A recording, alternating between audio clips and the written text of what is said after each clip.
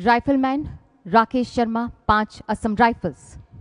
22-23 मई 2021 को rifleman Rakesh Sharma general duty Assam के एक गाँव में जबरन वसूली और नागरिकों की हत्या के लिए विद्रोहियों के होने की सूचना प्राप्त होने पर एक घात टुकड़ी का हिस्सा थे।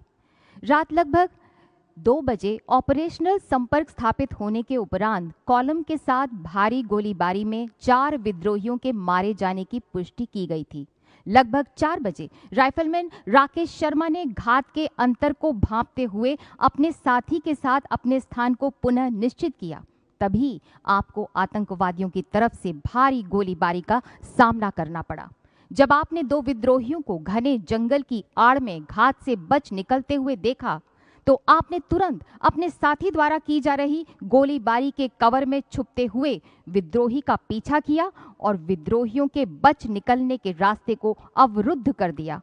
आपने भागते हुए एक विद्रोही को मार गिराया, लेकिन कवर से बाहर होने के कारण आपको दूसरे विद्रोही से भारी गोलीबारी का सामना करना पड़ा।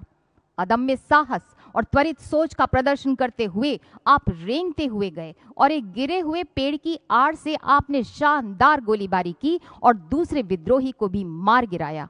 इस तरह राइफलमैन राकेश शर्मा ने दो खूंखार विद्रोहियों का सफाया करने में असाधारण सामरिक कौशल, प्रेरक नेतृत्व, निस्वार्थता, क्षमता और गजब के साहस का प्रदर्शन किया और अदम्य पराक्रम की अद्भुत मिसाल पेश की। राइफलमैन राकेश शर्मा।